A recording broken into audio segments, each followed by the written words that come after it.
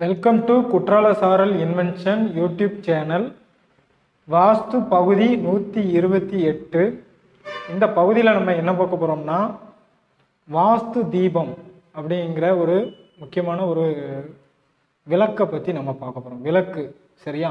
இந்த விளக்கு வந்து மாலை நேரத்தில் வந்து நம்ம வீட்டில் ஏற்றி வைத்தா நம்ம மனசுக்கு வந்து நல்ல ஒரு நிம்மதியை கொடுக்கும் அப்படிங்கிறாங்க. ஒரு தீபம் என்பது என்ன அர்த்தத்தை குறிக்கு அப்படின்னு பார்த்தீங்கன்னா இருளை நீக்கி வெளிச்சத்தை உண்டாக்குவது. அதே மாதிரி நம்ம மனசுல உள்ள இருளை நீக்கி வெளிச்சத்தை உருவாக்கும் வாஸ்து தீபம். சரியா? இந்த வாஸ்து தீபம் எப்படி நம்ம அதை விளக்கு ஏற்றி வைக்கணும் அப்படிங்கிறது பார்த்தீங்கன்னா ரெண்டு முறை இருக்குது ஸோ ஒன்று பார்த்தீங்கன்னா இந்த பித்தளை பாத்திரம் இருக்கு இல்லையா? ஸோ அந்த பித்தளை பாத்திரத்தை எடுத்துக்கோங்க. அதில் நீர் நிரப்பி வச்சுக்கோங்க.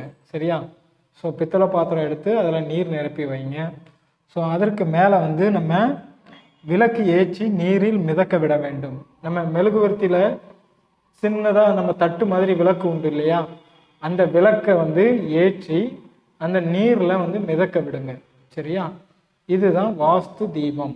இது ஒன்று இதை வந்து வாசலில் வைக்கிறதுக்கு முன்னாடி ரெண்டு ஏலக்காய் போட சொல்கிறாங்க சரியா? ரெண்டு ஏலக்காய் மஞ்சப்பொடி ஒரு காசு சரியா? போட்டு நம்ம வாசல் பக்கத்தில் வலது பக்கமாக இந்த விளக்கை வந்து மாலை நேரத்தில் வைக்கலாம் சரியா? அப்படி வச்சா நம்ம மனசுக்கு ஒரு நல்ல ஒரு நிம்மதியை கொடுக்கு சரியா? நம்ம மனசில் எதுவும் கஷ்டம் இருந்தால் அந்த கஷ்டத்தை குறைக்குது அப்படின்னு சொல்கிறாங்க சரியா? அதுக்கப்புறம் பார்த்தீங்கன்னா ரெண்டாவது இந்த கோலம் வந்து போட்டுக்கணும் சரியா? அதுவும் இல்லாமல் புள்ளி வச்ச கோலம் சரியா? புள்ளி வைத்த கோலம் போட வேண்டும்.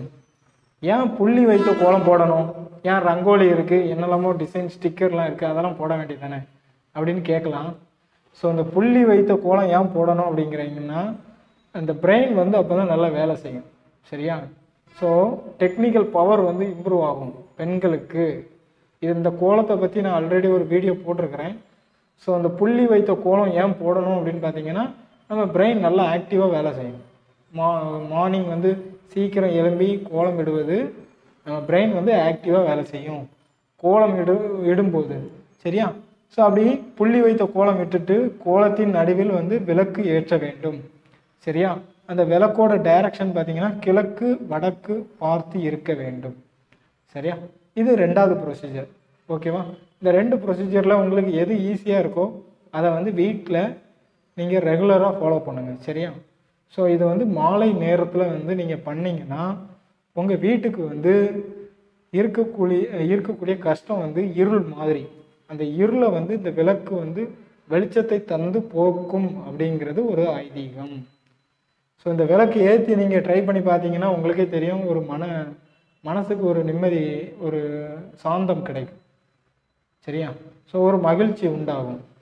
ஓகேவா ஸோ இதை ட்ரை பண்ணி பார்த்துட்டு எனக்கு கமெண்ட் பாக்ஸில் கமெண்ட் பண்ணுங்கள் சரியா? ஸோ இது ரெகுலராக ஒரு வாரம் நீங்கள் ட்ரை பண்ணி பாருங்கள் ஓகே ஸோ இதுக்கு பேர் வந்து வாஸ்து தீபம். ஓகேவா இதை வந்து மாலை நேரத்தில் தான் ஏற்ற வேண்டும். ஓகே சரி. இந்த இன்ஃபர்மேஷன் வந்து உங்களுக்கு நல்ல யூஸ்ஃபுல்லாக இருந்திருக்கும்னு நினைக்கிறேன். ஸோ உங்களுக்கு யூஸ்ஃபுல்லாக இருந்ததுன்னா கண்டிப்பாக கமெண்ட் பண்ணுங்கள் லைக் பண்ணுங்கள் ஷேர் பண்ணுங்கள் சப்ஸ்கிரைப் பண்ணுங்கள் நன்றி வணக்கம். வாழ்க வளமுடன்.